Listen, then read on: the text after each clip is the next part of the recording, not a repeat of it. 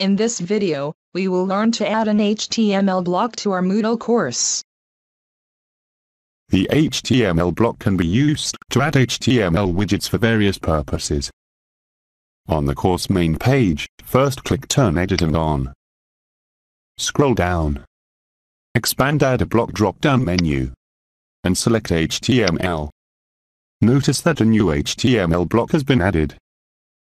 Click on the edit icon to edit the block. Let's use this block to bring tweets regarding Moodle. So, let's name it as Moodle. In the content area, we have to enter the HTML code for the block. Now in a new tab in your browser, enter the URL as shown and press return key. On the Twitter page, enter the search query as Moodle. In the title box also, enter Moodle, and then click on Test Settings button. Notice, the content in the search widget now shows the content related to Moodle. Click Finish and grab code. Select the whole code.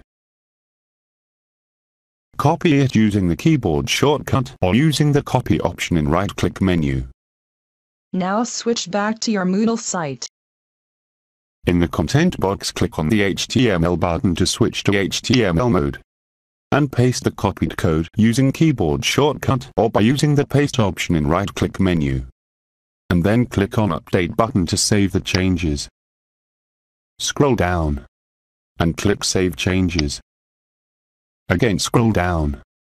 Notice the Twitter feeds in the HTML block.